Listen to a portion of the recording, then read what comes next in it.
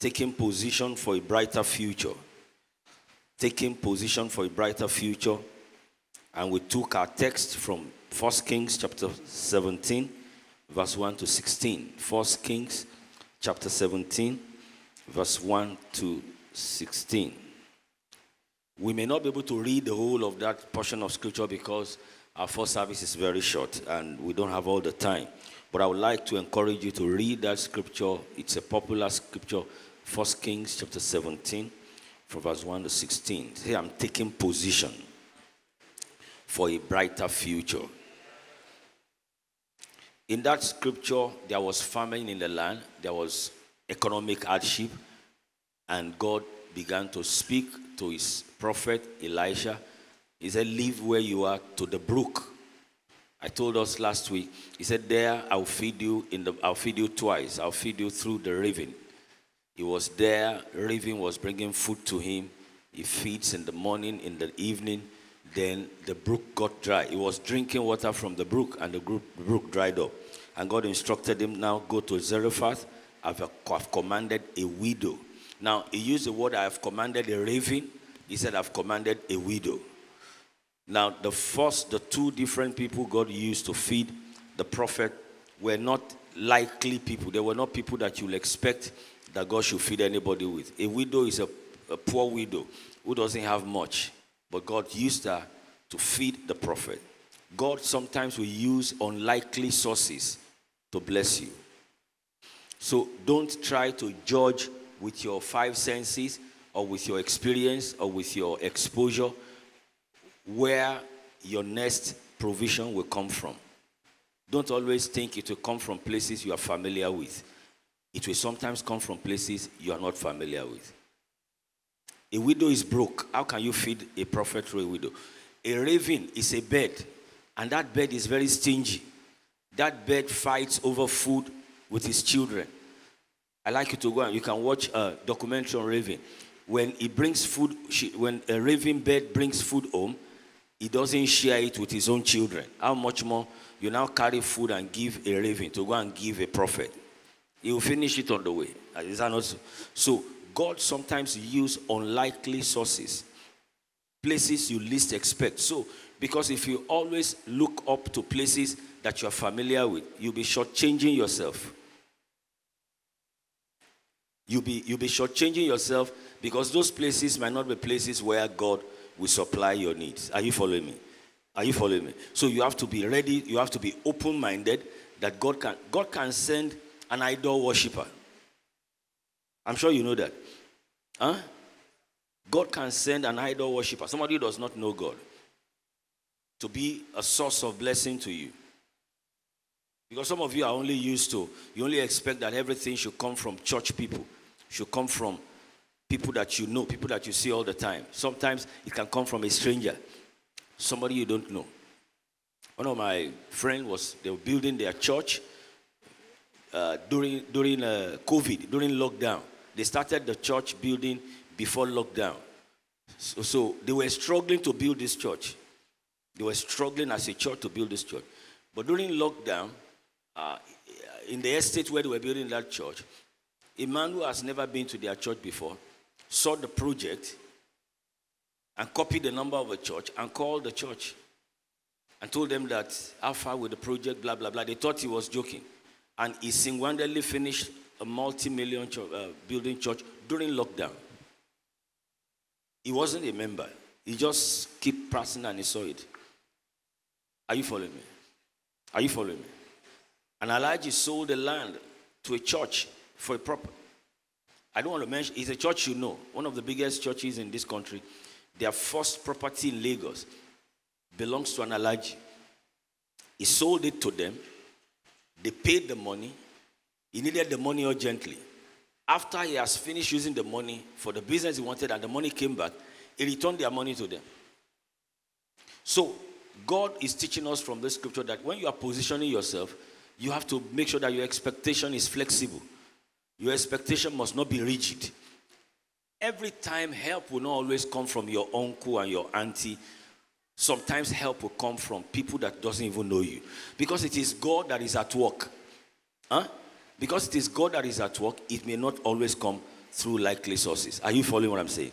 This is very important to note so that you don't shortchange and lock yourself and shut doors against yourself because your expectation is from your your your your old boys association old students association no sometimes god used so god told elisha he said go to that place now last week i told us the way the world is at the moment is very obvious that we have come we are coming gradually to the end of this world I, should, I know we don't like to hear things like this it's obvious that this world is gradually winding up. Scientists confirm that this world is tired. Scientists confirm that this world has been overused. That's why we have all the problem we have with weather. That's why strange things are happening. Maybe you don't know that this world is going to come to an end one day. Scientists have agreed that one day human beings will no longer be found on the surface of the earth. Even scientists have agreed. Because it will be, inab- it will be, uh, it won't be inhabitable. Not it, it, will, it will not be inhabitable again. It will not be, just like nobody can stay in Jupiter. You know, you know there are more planets than this world. I'm sure you know. There are more places but those places, human beings cannot survive in some of the, in all those places. The environment is not conducive for anybody to stay there and survive. The scientists are now looking for are there other planets where people can survive so that before this place will run out, they can carry us, um, although we're going to pay.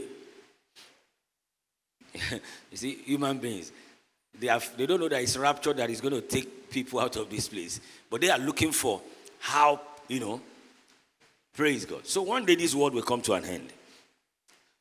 And that's why the Bible is not surprised. It's obvious, it has been said that there'll be war, there'll be, mean, there'll be all kinds of things, trouble, with, and that's what is going on everywhere. I was surprised last week to read that America is warning China not to invade Taiwan. You know, Russia just invaded Ukraine and there's war. So China too wants to take advantage of that and invade. They've always been want, they've always been telling Taiwan that that land is their land. So they wanted to invade Taiwan. So America is saying if they invade Taiwan, they are going to face military attack. This is third world war already. I know you don't like hearing things like this, but that is the truth. And I am I have the obligation, the responsibility to tell you the truth. Whether you like it or you don't like it. My job is a little difficult. I wish everything I'm telling you uh, are the things you like. But the truth is that if I'm going to do my job, I have to tell you what you don't like. That this world is going to wind up soon. I don't know how soon. I don't know if it's 100 years. I don't know if it's 10 years. I don't know if it's 10 months. But I know it's soon. Now, but let me tell you this. Despite the fact that the world is coming gradually to an end, this is the best season for God's people. This season is what? It's our best season because darkness will cover the earth and gross darkness will cover the people, but the glory of the Lord shall be seen upon thee. Isaiah 60, verse 1 to 3. He said, Kings shall come to the brightness of your light. Praise God. So, what was, are we supposed to do when there is famine over there, famine over there? People are running out of Africa to develop countries. It's not only Nigeria, most African countries are people are running away to places where life is much better, where there is security. But the real truth is that there is really no security anywhere than in God. That's the real truth. Because even where there are securities, a stupid boy entered school last week and shot 20 people. So, in the real sense, if we really want, security is just more in some places than some places. There is nowhere where you have a 100% security. I'm sure you agree with me. So, what do I do if I'm living in such a time like this, when things are difficult, when financial, when governments are trying all efforts to make life easy for their citizen, and yet life is not easy? When there is increase in price everywhere. What do I do? God spoke to me and asked me to preach this message to you that you need to take position. Everybody say, I'm taking position for a brighter future. Say it boldly, I'm taking position. Let's read Habakkuk chapter 2, verse 1 to 3. Habakkuk chapter 2, verse 1 to 3. Habakkuk chapter 2, verse 1 to 3. If you've seen it, say, Praise the Lord. I will stand my watch and set myself on the rampart. Can we have it on KJV, the whole King James?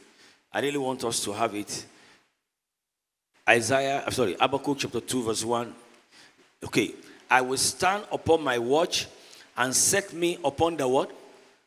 Tower. That's something high building.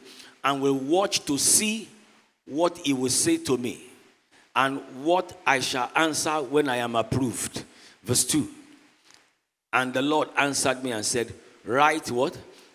The vision and make it plain upon the tables that he may run that reads that readeth it. Verse 3. For the vision is yet for what? An appointed time, but at the end it shall speak and not lie. Though it tarry, wait for it because it will surely come, it will not tarry. The verse 1 says, The prophet said, I will stand upon my tower and watch to see what he will say to me. That means I will position myself in such a way that I can see what God will say to me.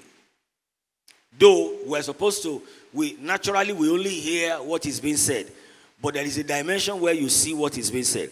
The past, the, the prophet said, "I will climb the tower." Now, in the in the Bible days, prophets are used to climbing this tower to wait on God. It's a common thing for a prophet to leave this ground and climb a tower to seek the face of God so that they can see what God will say to them. Prophets see themselves as people that God has called to watch over the people, watch over the comfort, the welfare of the people. So, most of sometimes a prophet that is called of God will leave where people are, leave all the distractions, and get to a place where he can see what God will say to him.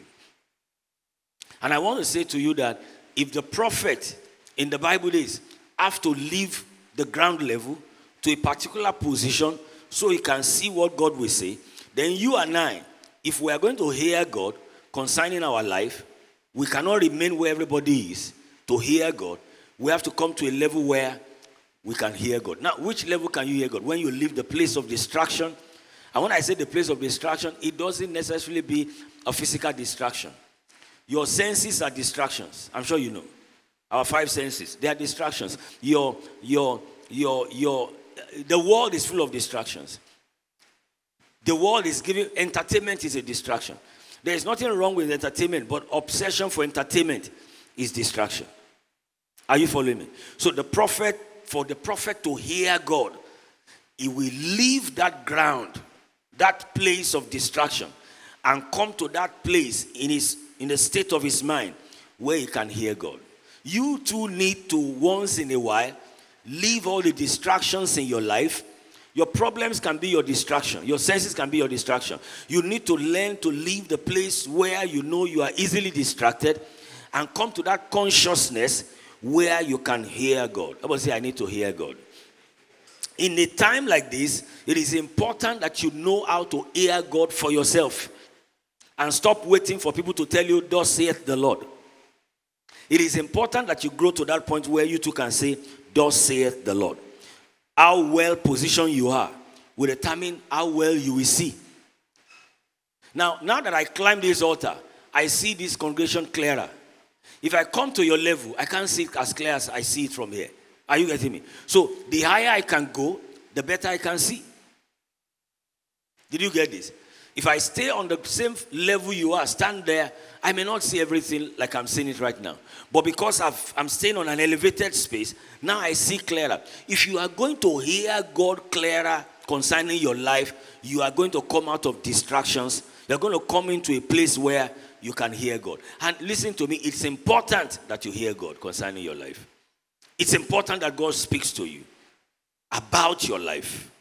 It's important that you stop waiting for a prophet to tell you what God is saying, but you are able to climb the tower and watch to see what God will say.